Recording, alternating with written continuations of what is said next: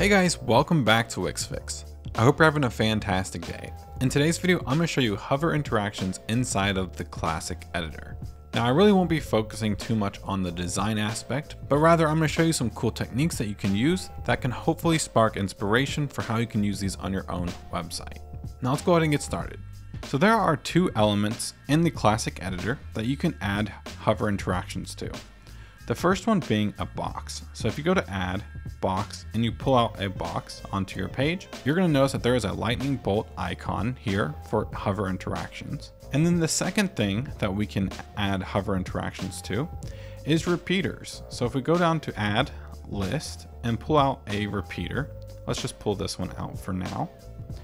And if we click on a specific item in the repeater, we're also going to notice hover interactions here as well. Now I am going to make this one a little bit bigger so that I can show you some cool effects that you can do with it. Now for this example, I'm just going to go ahead and click on hover interactions for this repeater and press get started. Now the first thing that you're going to notice is the icons over here on the left are very minimal now. The only thing we actually have is add to hover and hidden on hover.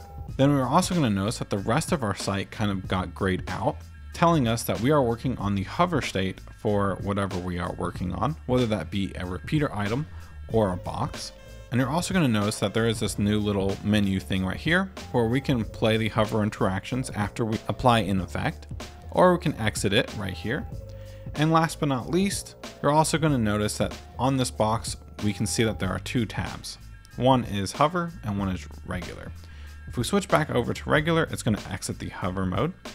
But then if we want to go back in, all we have to do is press hover interactions and edit hover interactions. Perfect. And the cool thing is, is with this container box selected, we can choose an effect. And as you can see, there are four main options that we can do. We can grow, we can shrink, we can rotate, and we can skew. And with each of these selected, you can also go into customize and choose how much it grows and you can also set a starting point. So as you can see, if I have the starting point from the top left, if I grow this, it's going to grow from the top left instead of the center. But if I go back to center, you're going to notice it looks like that. But for this, let's go ahead and make this 110, just like that, and we can go back. However, if you don't want just one effect, you can choose combo, and you can see we have scale, and the cool thing is, is you can change the proportions at which it scales. So you can scale the width or even the height completely separate. Now, this probably doesn't look very good for images, but maybe other boxes or different design elements, this might look really cool with. But we're just gonna keep it proportionate and we're just gonna set this growth to 110.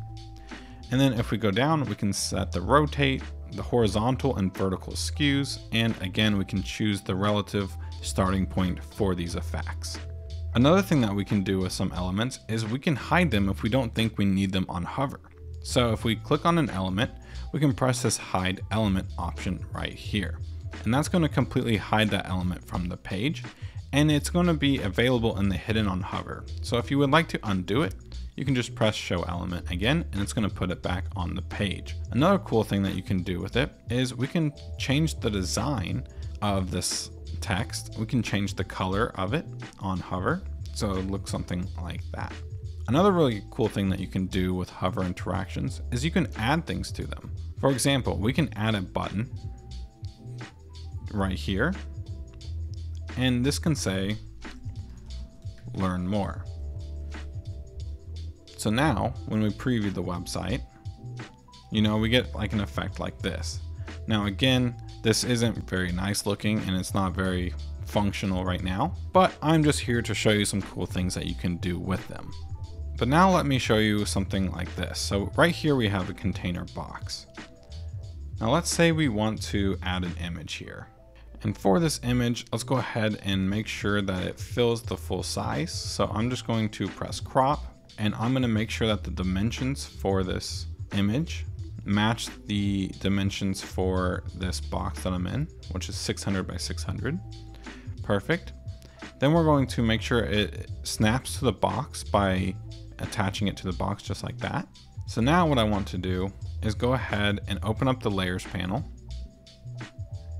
We're going to grab this container box and we're going to go ahead and apply a hover interaction to it. So maybe with this image selected, what we can do is add another box to this right here. And we can make this box 600 by 600. We'll make sure it's centered up in our box and we can lower the opacity. Then we can add some text to it like this, and then maybe even add a button. So now if we go ahead and preview the website, we can create a really cool effect that looks like this. Something that is super simple and clean. But that basically wraps it up for the video today, guys. I hope this helps give you some inspiration for hover interactions that you can use on your classic editor websites. But if you haven't already, please give this video a like and consider subscribing for more Wix content coming out really soon. Thank you all again, and I'll see you all in the next one.